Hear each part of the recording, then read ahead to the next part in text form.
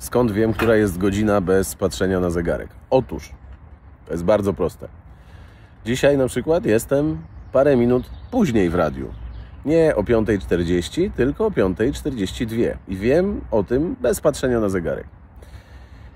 Albowiem, kiedy jadę do radia, to zawsze o tej samej porze mijam takiego chłopa, który chyba idzie do pracy. Jest bardzo charakterystyczny, bo e, ma na, około ze 4, na oko ze 40 lat, ale wygląda jak taki kinder metal, czyli koszulka entombed, czarne okulary, broda, długie włosy i e, plecak kostka. I dzisiaj, jak go mijałem, to był dobre 200 metrów dalej. Stąd wiedziałem, że jestem później. Dziękuję za uwagę.